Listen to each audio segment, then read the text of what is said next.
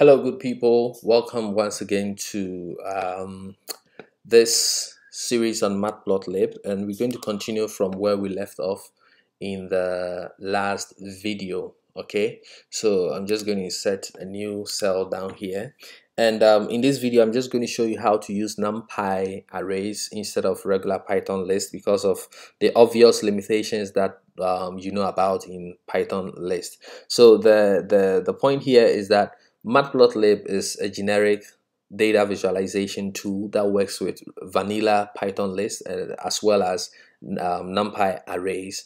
But it turns out that it is used more often in the data science and, and machine learning landscape. So, and in, in, in that area, we deal more with NumPy arrays. So um, it becomes second nature to use Matplotlib with NumPy arrays instead of vanilla Python lists. But you, you need to always have that at the forefront of your mind that it's possible to use um, plain old Python list and um, it's going to work. But the advantage of the Matplotlib NumPy, uh, I'm sorry, the NumPy arrays is that it, it gives you the ability to perform vectorized computations okay so instead of using for loops it is going to vectorize all these operations and then perform them in a much faster um, time frame than you would if you had to create for loops on your own so I'm going to create a numpy array and um, we've already imported numpy here. That is why we imported it all this while and um, we've never used this so now is the time for us to use it. So I'm going to create my x values.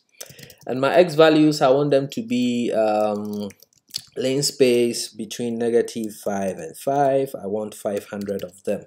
So the linspace function as you can see it says it returns an evenly spaced numbers over the specified interval okay? So basically you tell it a start number and end number and you tell it how many numbers you want it to generate between this range.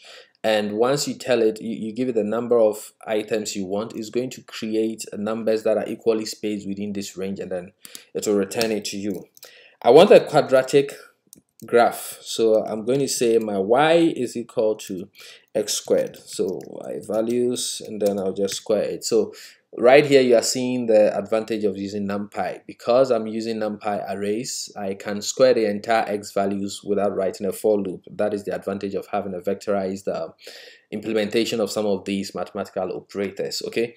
So now we have our x and y values. Let's go ahead and then I'll do plt dot plot and I'm going to plot my x values and I'm going to plot them against the y values. And um, once we run this you can see that right here we have our nice looking quadratic curve that ranges from negative 5 to 5 and then because the y values are the squares of the x values it is from 0 to 25 because yes indeed we have negative values in the x values.